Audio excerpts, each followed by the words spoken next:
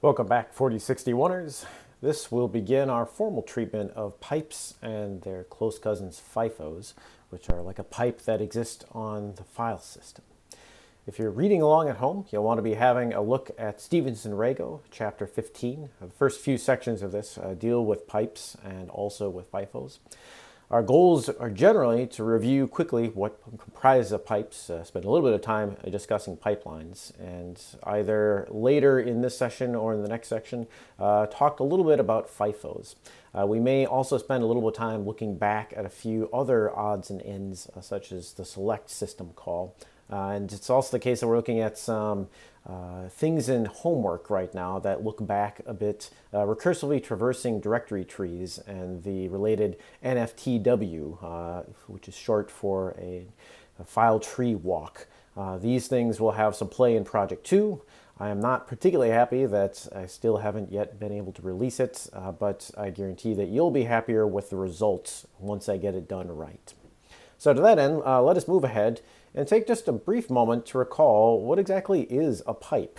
As a warm-up exercise, uh, see if you can recall those things. What are they good for, and how does one set one up either in C or on the command line shell? Uh, if those things take a little bit of recollection for you, pause the video for a second and think about them. Uh, try and recall some system calls and shell uh, syntax if you're so inclined. And this is probably long enough to pause on that front. Uh, so to move ahead, just to briefly recall that a pipe is an internal communication buffer that can be provided by the operating system. It originated in Unix, but is, I believe, somewhat widespread now in that there are similar facilities in other operating systems, including Windows, although they may not be called pipes there. What I think distinguishes pipes is that they've been around for a long time and they're excessively simple. So it's very low overhead to set them up, either the system call level or in the command line shell. And you can see that down here that setting up a pipe itself is really easy uh, with the pipe system call. All you need to do is to provide a small array of two elements of integers uh, that are filled in with the file descriptors uh, those file descriptors, I think this, the zeroth one is for writing and the other, uh, the oneth one is for reading, Well, I can never remember exactly. One's for writing, one's for reading. Uh, and this allows then any process that has access to those uh, file descriptors uh, to read and write. Usually this is done in the context uh, of a plan to fork in a moment. for instance, a parent sets up a pipe and when it forks, the child will share the pipe with the parent, allowing communication between the two. On the command line, it's even easier. You put a vertical bar uh, uh, between two commands. This will cause the output of command 1 to be read as the input of command 2. And this is why that vertical bar here has become uh, known as a pipe uh, in shell parlance. The history of pipes and pipelines is somewhat interesting. Uh, the notion of a pipeline is just a bunch of programs strung together where the outputs of an earlier program become the inputs of a later one. Uh, we demonstrated that just a moment ago up here on this command 1 feeding into command 2 in terms of output. Uh, this was a result of the early development in Linux, and one of its, uh, in which one of its founders, um, uh, McIlroy, uh, he noticed that he wrote a lot of programs that would simply direct their output into some temporary file, an output file, uh, and then another program that could run moments later would use that as an input file. And this necessitated him then eventually going and cleaning up those uh, temporary files as they were. And it dawned him that maybe it would be a good sort of facility that the operating system provide an automatic means that alleviated any shell programmers of the need of uh, allocating that disk space and then cleaning it up later on. Uh, and so the story goes that in one feverish night, uh, he and Ken Thompson added this uh, pipe system call uh, and implemented a shell syntax for it with that vertical bar. And the next day, uh, all of the programmers that were working on Unix at the time uh, had a orgy of one-liners as everybody joined in the excitement of plumbing. Uh, it should be said they had a good sense of humor, those early uh, Unix folks. But the main intent then is that the pipe alleviated the need for temporary files. It's also the case that the pipe is usually allocated in RAM, uh, and so is faster than having programs write to disk uh, permanent storage and then read from disk. Although, as we've discussed, in most cases, as you work with files, at least part of them are in RAM anyway, in temporary buffers that the operating system allocates. The pipe just takes that to its logical conclusion that it's an entirely RAM based buffer in most cases, and so is fairly efficient for one program to write into. It's just moving things into main memory, which are then read by another program. But uh, the interface to it looks like a file, as in uh, back here you have these two file descriptors and you make standard read and write calls from them. So this is a sort of uh, ingenious way to make it simple for two programs to cheaply talk to one another. Uh, in terms of how you see them work, a, a, sort of classic example is to make use of pipes to count the number of files that are in a directory. A standard C solution to this would make use of some of the system calls that we discussed and are the subject of one of your homeworks right now. Uh, the opendir and readdir uh, system calls allow you to open up a directory and then scan through the contents of it. You can do this in a loop in a C program and then just spit out this is how many files I saw in this directory. Uh, the alternative uh, is if you're familiar with LS, then you can probably locate either by memory or by looking through its manual page uh, some option that will spit out the count of files rather than listing all of them. Uh, a final solution is just to uh, ls the contents of a directory into some temporary file uh, and then use some utility like wc, uh, short for word count, to count the lines in that. But the pipe solution is probably the one that uh, resonates most with folks who are familiar with the main intent of ls to list main intent of WC to count. Uh, in this case, you can string the output of LS uh, to become the input of WC, uh, and this will spit out then the number of lines uh, that LS would have output, which is the number of files in a directory. Uh, to demonstrate that, uh, up here I have today's code pack with some temporary files or backup files and some things that are compiled. If I ls, you see all of those on here. Uh, and if I pipe that as uh, input to word count, uh, you'll see there are 12 words, 12 lines, and 155 characters. I can adjust that so I only get the line count here with the dash L, uh, and there's your pipe-based solution. Uh, it's a lot simpler in many respects than having to write my own C program for it. And this ability to combine tools is what led Unix to develop this philosophy uh, of small, sharp tools that are easily combined. Pipes play into that mentality very, very strongly, and I'm not sure how it would work otherwise. A few notes about pipes, as uh, there's been some discussion of their merits and uses uh, over the course that you know, bears just a little bit of um, um, uh, sort of attention uh, from us. Uh, there's a semi-famous article in Unix circles uh, that was part of the Programming Pearls set of articles that came out from the uh, communications of the ACM 1986. The web link here is still active, I think, so if you click on it, it'll take you to a web browser and you can uh, potentially look at the whole thing, although my internet's a little slow at the moment. Yeah, not programming pros. Uh, some nice person is violating copyright at the moment uh, to preserve this uh, nugget of goodness here. Uh, it's an article that generally just discussed uh, programming practices, and it was kind of cool back in the day that you'd see in a high-level publication like this, not discussions of machine learning and theory of distributed systems and so forth, but just really pragmatic stuff like how do you find the most frequent words uh, in a file of some sort.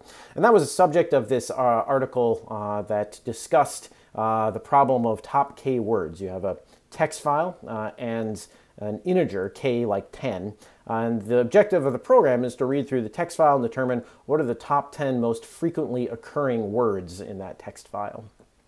There are two folks that weighed in on this, and the primary sort of respondent to this was Donald Knuth. Uh, he's one of the godfathers of CS. Uh, you'll see his name bantered about in uh, sort of awe and shock.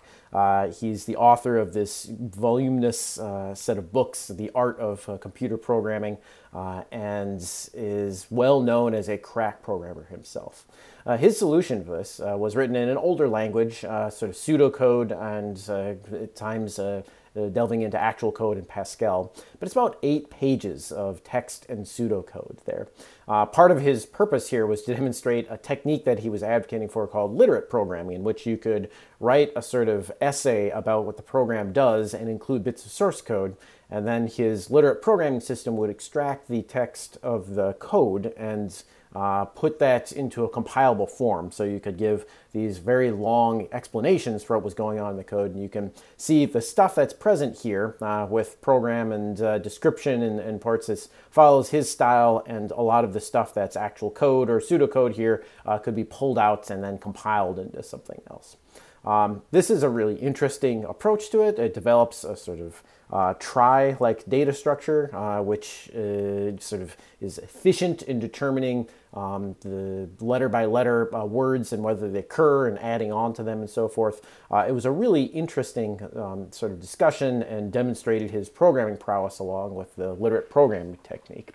Uh, but there was one flaw that McIlroy identified and offered an alternative to it and it was that the solution that Knuth provided was way too freaking long and hard to understand uh, unless you were willing to devote lots and lots of time. McIlroy, uh, he advocated for instead a really short uh, set of Unix commands that were strung together using pipes. And so what you see here uh, with the little vertical pipes here is the output of one program becoming the input of the next program. Uh, what you see on the slide here is a slight modification of what McIlroy actually advocated for to begin with. Uh, he didn't write it as a script that would be stored in a file. He just said, well, um, this is short enough, I'll just type it on the command line. So it was only six lines rather than the nine or so lines of code and the parameter setup uh, here. Uh, but the flavor of this is generally the same. Uh, the gist of it is you need to output the file in some way. Uh, you need to uh, transform any of the input characters that are not alphabetic, that don't comprise a word, uh, into some other non-printing character. Uh, McIlroy favored new lines because this put every word essentially on its own line then. And you'll have to understand that there are a few caveats to this. For instance, uh, contractions like don't that have an apostrophe in it get clobbered a little bit in this, but um, who's counting on that front? Uh, then uh, this TR utility is used to transform all uppercase uh, letters to lowercase letters so that there's uniform case as you're counting. You use the sort utility that sorts all of the output that's coming out of this uh, into alphabetic order the uniq utility, uh, which will take sorted inputs and merge any adjacent entries. Uh, uh, so for instance, uh, if the word the appeared six times, it would merge into a single occurrence of the, with the dash C option puts a little dash uh, count in front of it, so you'd see six and then the to indicate the occurred six times um, sort, uh, and this again will sort the input, but this time in reverse numerical order, uh, so that the first field, uh, which is the count of words generated by uniq, uh, because it uh, would uh, cause all of the most popular frequent words to percolate up to the top of the output. And finally, head, which just presents the first few lines of output. In this case, if the input parameter k was 10, then I'd print out the first 10. Um, so this nine-line Unix script uh, or six-line uh, one-offer uh, that uh, or one-liner that uh, McIlroy suggested, it comprises all of the functionality that Donald Knuth's eight pages of Pascal and pseudocode comprise. I think I have this code in the yeah in the um, the source pack, so you can experiment with a little bit. Uh, here it is, uh, and I think right now it's set up to be executable. Yeah, so we can execute it. Uh, and I have a lorem ipsum here. I don't know, uh, yeah, I think I, we can run this. So this is a, a fairly long uh, line uh, series of text that we can just look at what are the most popular words in it. So it'd be top k.shell on lorem ipsum and show me the top 10 words. Uh, I'll see, I got the, the order wrong there, so it should be 10 first, and then the, the file name. So ipsum uh, occurs with 9, uh, 8 for in, and so forth.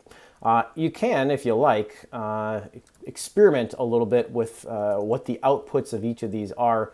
for instance, if I cut out at this point all the rest of this stuff, uh, and put a little uh, comment here. What I get is the output of the pipeline at this point after uh, transliterating and then sorting stuff. Uh, so at this point, uh, you'd see uh, the output over here where all of these uh, oots uh, come in as uh, sort of repeated words due to the sorting that's occurred.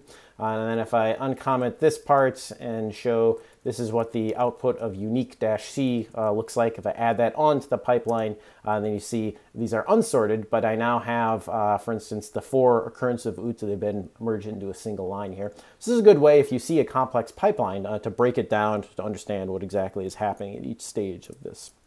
I'll leave this off uh, to make sure that future classes get a, a, a sound copy of this uh, program. Um, so at any rate, uh, what McIlroy is essentially advocating for is that shorter is better here. And while Donald Knuth's uh, solution is elegant and probably way more efficient in terms of large inputs than what's present here, there's a different kind of efficiency that you'll always want to be aware of, uh, which is how long is it going to take you to program? Do you have the time to sit down and write eight pages of tree data structures uh, that will do this job right, as it were, in terms of uh, efficiently handling large inputs? Now, if that's the central mission of your business, which is uh, you know counting word frequencies for some reason, and uh, that program is going to be run hundreds of millions of times, then it's probably worth the investment of time up front uh, to uh, get really efficient uh, solution uh, that's going to work in, in the long run. Rarely is that the case though, and you'll find in your working world that you have lots of sort of one-offs where you have to uh, figure out, okay, I just need to format this data in some way. Uh, the efficiency doesn't matter, I just need the result quick. And at that point, this kind of a script magic uh, becomes extremely useful because instead of spending a couple days uh, to work out what the solution is, you spend a couple seconds looking up man pages like, okay, what was the option that did this in uniq? What was the option in sort uh, to sort in a certain way? And you as the programmer know you can combine all of them in this interesting way just to get the job done and move ahead with whatever your real goal is. To merge those two, though, I think it's important to realize that in a lot of cases, it's not worth it to spend your time optimizing something with a really big, complex program until it's really apparent that you spend a few months uh, using this script uh, for your business purposes and everything's going fine, then you just save yourself several days of work uh, by not writing that eight page tree behemoth. And at the point that your manager comes and say, okay, we've got some free time here, it'd be nice to optimize the performance of various things, uh, you look and see one of the slowdown points is uh, this sorting business. That's when you spend time uh, optimizing it. But having a solution that works fast in, in terms of programmer time, uh, that's a, a, more important uh, task. Uh, the thing that's 90% uh, right and already finished is much better than the thing that's 100% correct but still theoretical and on everyone's mind. So to underscore that point, um, let's talk just for a minute about tool familiarity. What was enabling this set of tools to combine uh, was the pipes, but you wouldn't be able to solve this problem using pipes. I mean, they don't solve anything on their own uh, unless you understand some of the component pieces that are present here. And Unix is full of these little text tools that can be combined in interesting ways in that respect. To motivate that, uh, here are two possible real world problems uh, that you might face at some point, and they're representative of a whole class of sort of pragmatic programming issues uh, that uh, folks who work in the business are going to have to deal with. Um, the solutions don't necessarily have to involve pipelines in this case, uh, but the two problems are as such. Uh, you have a couple directories, directory A and directory B. Uh, they have roughly 250 files in them uh, each, but in some cases, directory A has slight, slightly different files uh, than directory B. Uh, and in some cases, directory B might have some more files that don't exist in directory A. And the job for you is to figure out what is the difference between these two. Uh, this can arise in all manner of different scenarios. Uh, me, I faced it several times where I'm moving between two computers and I think I copy all the files that I need, but then there's subtle differences. Uh, and so want to figure out uh, what is the difference between these two directory structures so I can make sure they're uh, relatively in sync. The other problem uh, comes from Steve Yegge and his interesting uh, but profane article, uh, Five Essential Phone Screen Questions. And if you're planning to interview anytime soon, uh, then you may want to have a look at that article. Uh, he stated it as follows You have about 50,000 HTML files in a Unix directory tree uh, under some you know, file like our directory uh, called website. You have two days to get a list of file paths uh, to the editorial staff, uh, and what you're looking for in those HTML files is any occurrences of phone numbers that appear either parenthetically uh, with the area code followed by a space and then the rest of the phone number separated by a dash, uh, or alternatively, some phone numbers appear in the area code dash uh, rest of phone number format that's listed down here. Um, so those phone numbers could appear anyplace else in the company's changing phone numbers, so you have to find all of the web page files that contain phone numbers so they can be uh, changed. Uh, to that end, it's worthwhile then just to take a moment to ponder these two. How would you go about solving these two problems, either the difference between directories uh, or the find uh, phone numbers? I'll caution you that uh, the answer you're probably looking for here uh, is not to write a giant C program or a giant Java program or even a medium-sized Python program for this kind of stuff, that there are shorter, sweeter answers uh, to this kind of thing. Take a moment, uh, ponder for a moment, and do a little research if you want. Uh, Googling in this case is probably okay because it'll get you set up and prepared for interview questions. So the basic paradigm that you want to learn is that the, these are not new problems, uh, that instead uh, there have been around for quite a while and programmers having had to deal with them, write utilities or extend existing utilities uh, to allow you to, to deal with this. Uh, there's a hint in the first problem's name, the diff between dir A and dir B. There's a very, very common utility called diff, and its intent is to show the difference, usually between two regular files.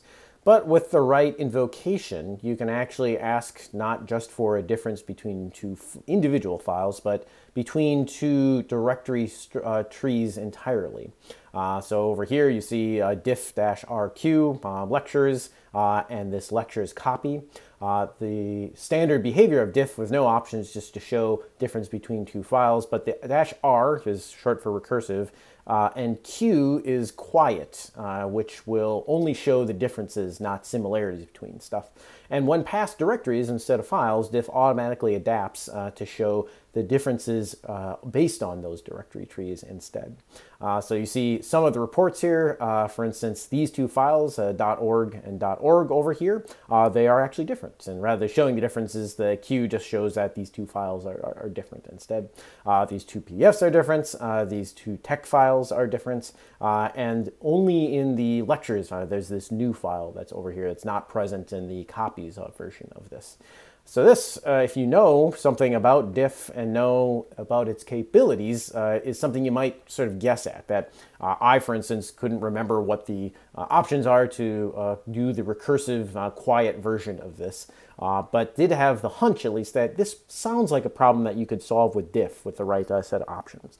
So you buzz into the manual, uh, man diff, uh, and look around until you see uh, there's a way to invoke this on directories recursively uh, and limit the output to only what I'm interested in, uh, quiet in that case. It might take a few tries, but this is certainly going to go a lot faster if you're willing to read the manual page than writing a whole giant Python program that recreates the magic that's already baked into Unix.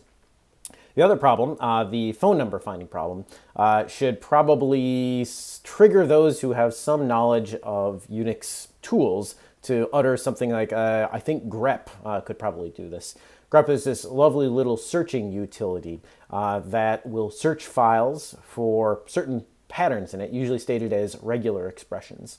And Yegge's solution that's provided here is a little bit complex because it makes use of these Perl compatible regular expressions, uh, which are a very extended language to specify patterns that you want to search for that appear in text. Uh, and you can see it's a little bit hard on the eyes. There are actually simpler versions of this that you might state out there, uh, but it gets the job done. And importantly, it's a one-liner as in no giant C or C++ program uh, here. It's just invoking this standard utility to run recursively, uh, search everything in a directory tree, uh, and to list the files, that's the dash L part, and to state in some way this pattern uh, that is a set of three digits uh, surrounded by parentheses uh, followed by a space, uh, or um, a set of three digits that are sort of separated by a dash. Uh, so to that end, uh, the pattern here uh, that requires some doing, but something you can experiment with, especially if you have some test files uh, to look at there. Uh, so to that end, if you were aware of grep, at least in Steve's eyes, uh, then you could probably uh, get away with passing this interview question. But if you jumped immediately to the, I'm going to write a C++ program and use the uh, standard template libraries, regular expression engine to do that and uh, do so recursively and so forth, probably this would not be the best way to answer that interview question. Would move you up in terms of the rankings. And if you're interested in things like this, uh, utilities that allow you uh, to check various aspects of text and so forth, you might check out uh, the Tool Time Session 3, a series of lectures that are posted uh, on uh, YouTube. Uh, the third session dealt exclusively with some common text tools that are used to search and transform. grep is covered in some more detail in there, and it's worthwhile if you're preparing for an interview um, to have a look at those. The next thing that we want to talk about, aside from the constituents uh, of uh, tools and Unix that you can combine with pipes, is to talk a little bit about the limitations of pipes themselves. There's uh, a well-known facet of them that they are not unlimited in size, that instead the typical implementation of them in Linux is only about 64 kilobytes, uh, 65,536 bytes for those keeping track uh, at home. Uh, you can have a look at the program uh, fill pipe here, and we'll pull that up here. But the main thing that we're going to be driving at is that the fact that pipes have a limited size introduces a major flaw uh, in Project One uh, that you guys implemented, this uh, Commando uh, project. And we'll want to think a little bit about why, if the pipes have a limited size, this creates potential problems in Commando that were unanticipated. Uh, maybe want to revisit and have a look at what's going on with those. So uh, let's have a look first at this uh, fillpipe.c business. Uh, I'll pull that up here, fillpipe.c. Uh, you can see in here, uh, what I have is a pipe call uh, to fill in this little pip array with the read and write uh, file descriptors. Uh, and we're going to fork in this case. So the intent here is for the uh, program that's running uh, to fork off a child, which is going to be doing, in this case, uh, the reading for this uh, instance. Uh, and you can see the central loop for the child here uh, is to sleep for a second and then read some stuff. to spit out its output using this flush, and then read some more from the pipe. And it just does this in a continuous loop, so eventually have to kill the parent and child to get this to stop. Um, the parent, on the other hand, uh, it's going to constantly be writing this single character dash uh, to the pipe uh, and reporting how much it's reading as you go through. Uh, now, if pipes are sort of unlimited in size and scope, then what you'd expect is that this parent could chug along writing stuff uh, as fast as it, it wanted to. Uh, but we'll see, uh, what we'll see instead is that there's a limit to how much uh, the parent can actually write into this. So let me fire this thing up. Uh, oh yeah, and I should see, uh, say again here, this is odd loop syntax for for here, uh, where there is no termination condition, so this is just going to loop forever as well for the parent. Uh, let me GCC this, uh, GCC fill pipe, uh, and I'll just run this thing, which will fire up parent and child, and you can see this is writing and writing and writing, and then there's a pause. And what you should note here from that, so find that. Yeah. Um, uh, note that as I'm writing here, occasionally the child is uh, going to wake up uh, and uh, read stuff. Uh, and what you should see is that there was a pause right here, 65,536. Uh, this is where the, the parent sort of bailed out for a second. and if you come back down to this, you can see the parent writes a whole bunch and then the child does some reading. Uh, and to that end, the parent is on hold, uh, it seems like, whatever the child is reading. Part of this, then, uh, to understand is that the pipe is filling up, and the child, which is reading blocks of 1024 characters here, uh, it is going to read off a hunk of this stuff, uh, and the parent is not going to get a chance to read or to write back to that pipe again until the, the pipe has been emptied somewhat. Uh, that at each stage here, uh, the parent is trying to write into a full pipe uh, and can't do so. It blocks on that until the child wakes up, reads some stuff from it, uh, and creates space in the pipe.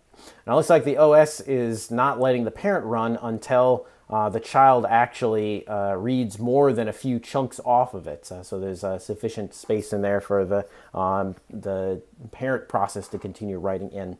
Uh, but the main thing that I sort of take away from this uh, is the following, that if you try to write into a full pipe, you block. It's like it's one of the few instances that we've seen so far in which writes can actually put your whole process on hold. Um, we have seen at times that reading from files, in particular pipes as well, if there's nothing in the pipe yet, uh, this can cause hangups as well, uh, and we will uh, talk about that in a moment. Uh, but this size limit then on pipes uh, means that once the pipe fills up, uh, and we saw that earlier on here, that I could write sort of continuously as the parent uh, until we actually got down here to the, uh, well, it's going to take me too, uh, too long, I think, uh, to scan that way, uh, until we got to so the pipe limit. and at that point, the parent can no longer write anything more into it and has to wait for a while until the child reads. It then very quickly um, fills up the space that the pipe uh, has uh, sort of opened up as the child read from it, uh, and the parent process blocks yet once again, uh, waiting until the, the child process uh, reads some stuff out of it to open up more space.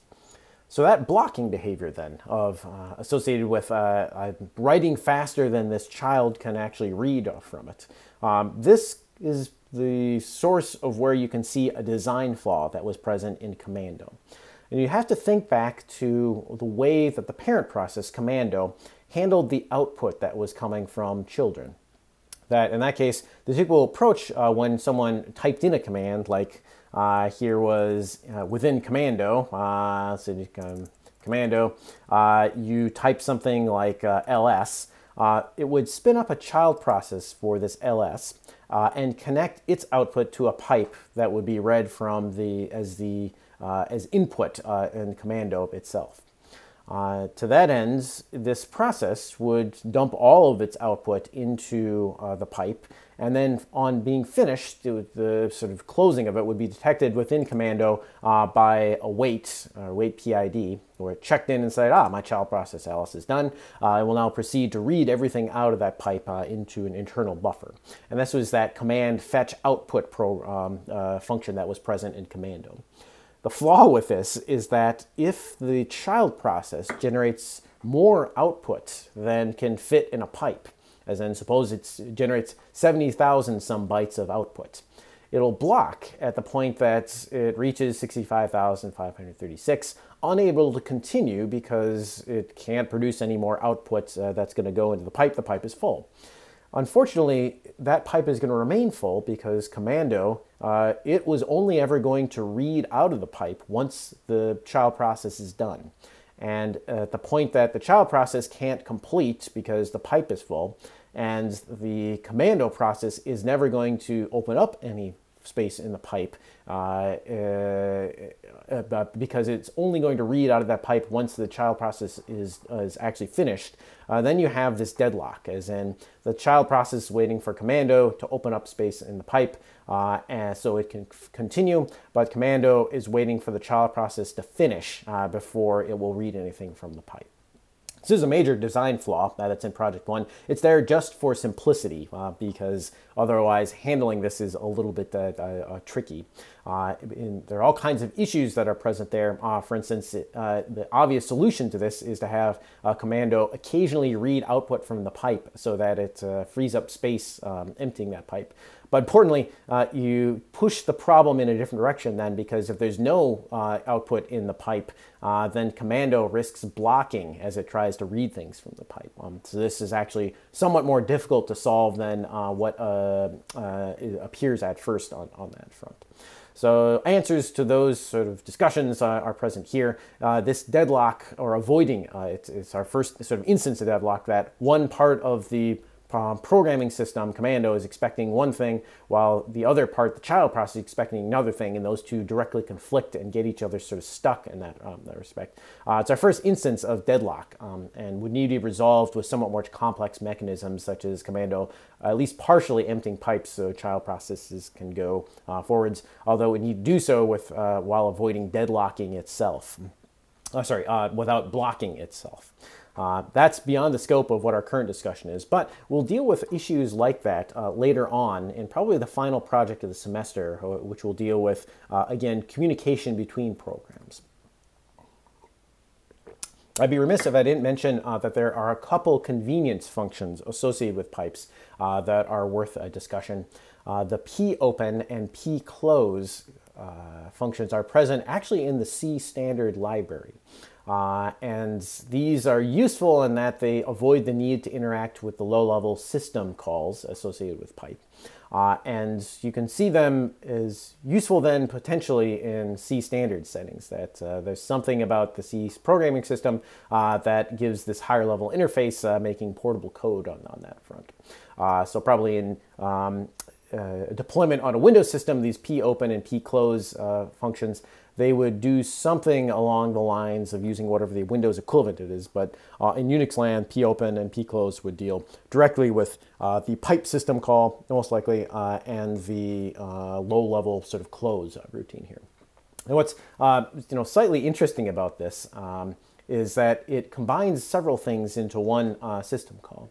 It does a fork and exec to execute this command string over here and returns this uh, standard IO pointer uh, over here. Uh, sorry, uh, uh, uh, so standard IO sort of file descriptor over here, or file handle, I guess, file handle, this file struct over here.